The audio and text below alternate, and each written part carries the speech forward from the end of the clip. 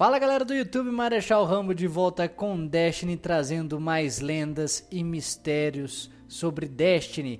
E no vídeo de hoje a gente vai falar sobre os Arrancaras, quem são, o que fizeram e se eles estão vivos ou não. Primeiro eu gostaria de agradecer a todos vocês pelo vídeo, pelos mais de 2 mil likes lá no vídeo sobre os 9 e, dos, e do Rasputin, muito obrigado.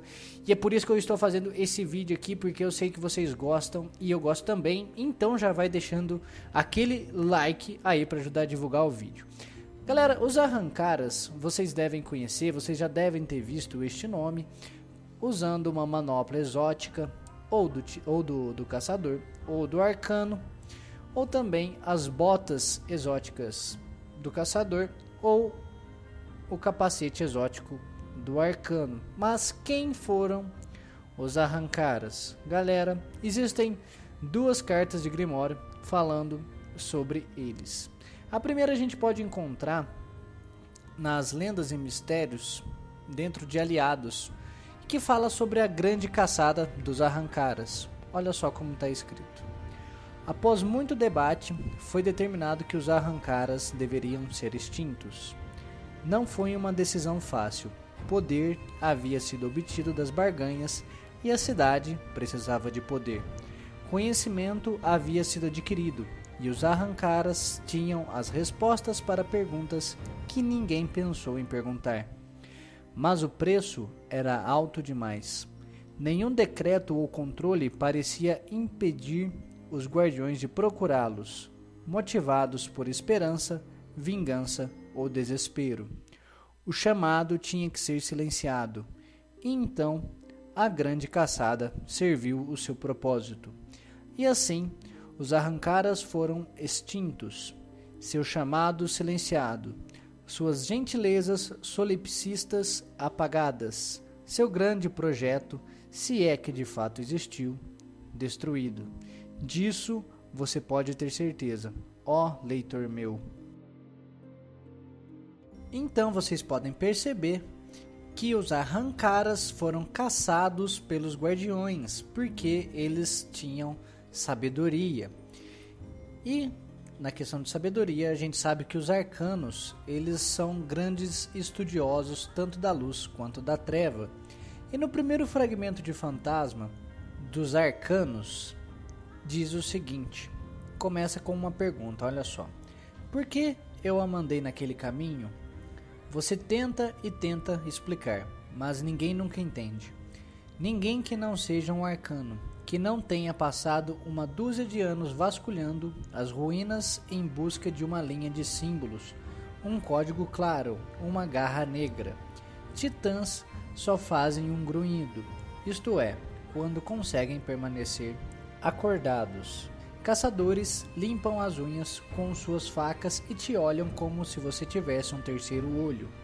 Mas quando você passa a sua vida procurando pelos mistérios de um poder antigo, isso lhe dá o ímpeto de tentar educar os outros, especialmente se você bebeu um pouco a mais. Não, ela não faz o meu tipo. Nós jogamos dados, cartas, jogos de guerra. Você sabe, as coisas de sempre. Eu nunca tinha tentado me exibir antes. Eu não sei o que tomou conta de mim. Eu tinha uma vértebra quebrada no meu bolso, que eu tinha pego emprestada do. Sim, emprestada, eu ia colocar de volta. Quem você pensa que é? A minha consciência? Era um fóssil, o que significa substituição mineral. Uma pedra, basicamente. Eles podem sobreviver por algumas horas no meu bolso, calha a boca. Os criptoarques não iam sentir falta. Todo mundo sabe que os arrancaras foram caçados à extinção. Não há mais nada a temer. Pense em como esse sistema é misterioso, eu disse. Em quanta vida expandiu quando o viajante veio? Como os arrancaras? Você conhece as lendas? O dragão que fazia promessas? Aí eu puxei o fóssil como um floreio. Então aqui, pessoal, a gente pode perceber que os arrancaras eram dragões que apareceram após a presença do viajante, uns dragões com sabedoria. Vamos continuar aqui. Ela puxou a faca dela e começou a limpar a sujeira debaixo das unhas. Isso me irritou. Você nunca poderia ter derrotado um desses, eu disse. Nunca. Nem o melhor caçador ou o maior titã. Os olhos dela estreitaram. Ela disse: Ah, é? Mesmo? E foi aí que eu vi que ela não ia deixar o desafio passar. Acabei de matar uma guardiã, eu pensei. Ela vai morrer e a culpa vai ser minha. Eu olhei para o pedaço de coluna na minha mão e me perguntei: por que eu disse isso? O que motivou tal orgulho? Muito interessante, né, galera? Essa lenda, né, sobre os arrancaras. Aí você pode pensar: existe algum dragão em Destiny? Sim, existe. É em Vênus. Perto da torre, se você ficar observando, você vai ver dragões voando. Não é em boa definição, mas eles existem. Eu acredito que eles estejam lá apenas para nos fantasiar de que eles ainda não foram extintos. Agora vamos dar uma olhada nos exóticos. Nós temos quatro exóticos dando referência aos arrancaras. Primeiro é o capacete exótico do arcano, crânio do terrível arrancara. Olha só a descrição dele. A realidade é a carne mais rica, ó portador. Não estás tu faminto?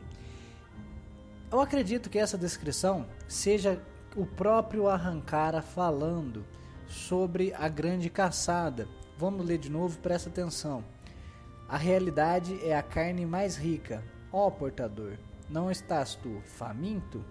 É como ele via quem caçava ele durante a grande caçada. Outro exótico, a manopla exótica do caçador.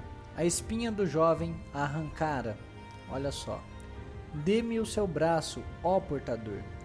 Deixa-me ajudar você a encher o mundo com dentes. Muito interessante também essa descrição. Outro exótico do arcano, a manopla, garras do ar, de arrancara. Olhe para toda esta vida, meu portador. Ainda há tanto para queimar. Era como se fosse um dragão mesmo, que soltava fogo, claro. Um outro, um último exótico, as botas exóticas do caçador. Olha só, os ossos de EAO. Desafie a extinção. Eu acredito que com essa ela comprova que os arrancaras não foram extintos. Tá? E antes da gente terminar, galerinha, eu vou dar 3 segundos para vocês pensarem, antes de começar a falar, o que que lembra a palavra dragão para vocês em Destiny? Sim, lembra abafo de dragão. E você já foi lá nas cartas de Grimório ler a carta da bafo de dragão? Então eu vou ler para vocês. Queime o mundo, queime tudo. Dos laboratórios Feizel Crux e Victor Lomar surge outro lança-mísseis, oferecendo uma construção que se equipara à fúria incendiária de uma besta lendária, ou ao menos as representações clássicas. Carregando três foguetes, sendo cada um equipado com detonadores de labareda solar, acredita-se que o, que o seu poder é comparável ao do monstro voador mítico, mas esperamos que um confronto real entre os dois ponha um ponto final nessa discussão.